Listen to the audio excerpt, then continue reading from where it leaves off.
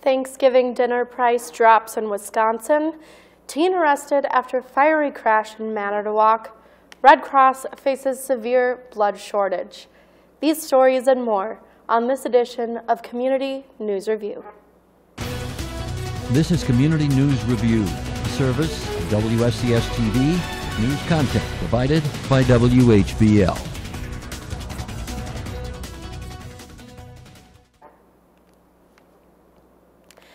Hello, I'm Maddie Pfister, and this is Community News Review for Monday, November 19th, 2018. One person was arrested after a fiery crash in Manitowoc Wednesday night. The Sheriff's Department says a deputy tried to stop the car on South 21st Street in the city, and the 17-year-old driver from Manitowoc fled, and when he tried making a turn to get away, went over a curb, slammed into a tree, which caused his engine compartment to start on fire. The deputies helped the driver and two passengers out of the vehicle, and the driver was arrested for felony fleeing, causing bodily harm, and all three people in the vehicle had minor injuries. The Red Kettle campaign for the Sheboygan Salvation Army had a kickoff on Saturday at Festival in Sheboygan.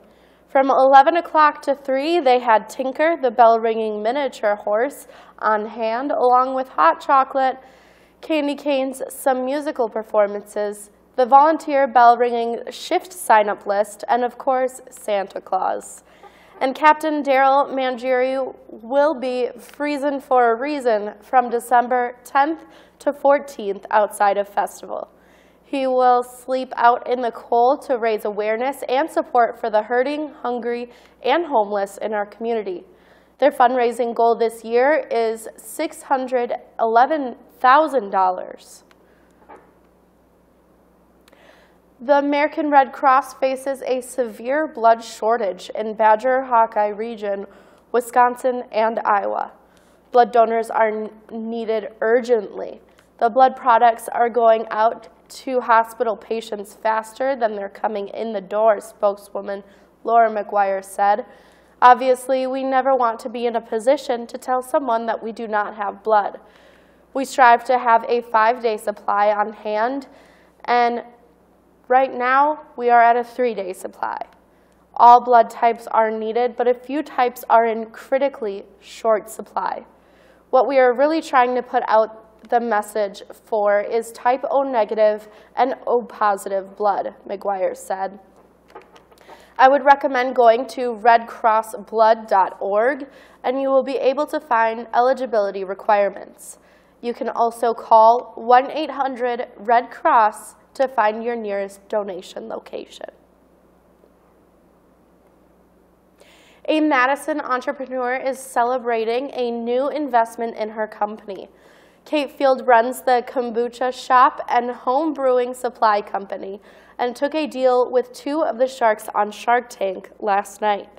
She gave up 10% of her company to Sara Blakely and Barbara Corcoran for $200,000 and $150,000 line of credit. Field opened her store five years ago to sell supplies to people where they can make their own kombucha at home. She has sold 60,000 kits, with half of her sales coming in this year. They cost between $45 and $80. Kombucha is a fermented tea, and Field founded her company five years ago when she was just 26. Baby Jesus and the wise men are coming back to West Bend, and local organizers hope they make it through Christmas this time. Anna Jensen with Downtown West Bend Associate Association says that the town will unveil its nativity scene on Monday. Thrivent Financial is paying for it, and it costs $3,500. West Bend lost part of its nativity scene last year, just after someone stole baby Jesus. The Jesus figurine was eventually recovered, but its head was missing and was badly damaged. The older nativity scene was gifted to the town in 1960s. It was a handmade from Germany, but was showing wear and tear. Jensen says that they will have a security camera at the scene around this time, and it will be displayed at Old Settlers Park. Family and friends of a missing man are searching for clues to his disappearance. 53-year-old Toby Cleesby has, has not been seen since November 5th. Volunteers searched the area last weekend along the Chippewa River banks near where Cleesby's car was found in Eau Claire County two days later. About 100 people assisted in the search on Sunday, and volunteers were asked to look for any clues like car keys, his cell phone, or articles of clothing. A drone was brought in to assist the area where the woods was too dense to be searched. The circumstances surrounding his disappearance are still unknown, and Cleesby was a postal worker who worked in Mondovi, where he, and he also has five children. And finally, good news for anyone responsible for feeding a crowd this Thanksgiving Thursday.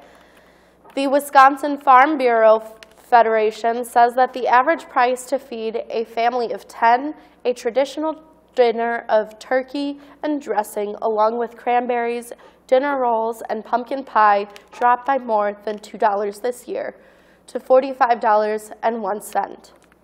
Officials say a recent decline in the price of a 16-pound turkey was the biggest reason for the savings. In 2017, we found that the average price was $20.96, and this year we found that it was down $1.92 to just $19.04, said Sarah Hedke, the Director of Communications for the WFBF. Hedke says that 2017 was a good year for Wisconsin turkey producers, which also factors into the drop and 631 turkey farms statewide produced about 3.4 million birds last year. Additionally, neighboring Minnesota is the nation's leading turkey producer, which also helps drive down costs for Wisconsin consumers. Wisconsin's price is also a bargain when compared to the national price tag of $48.90, according to that survey. Hedke says that this is because several items like milk, cream, and cranberries can be found close to home as well. The farmer's share of this year's $45.01 price tag for a family of 10 is about $8.78.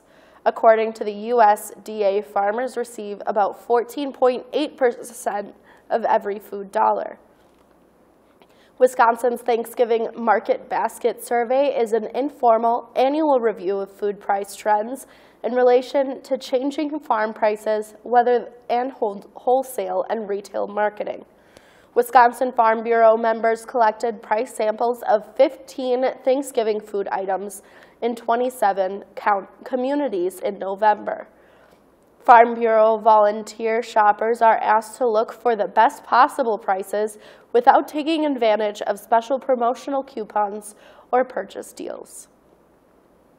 And that is all we have for today. Join me again next week for another recap of our local news. From all of us at Community News Review, have a great day. News content for this program provided by WHBL in cooperation with WSCS TV.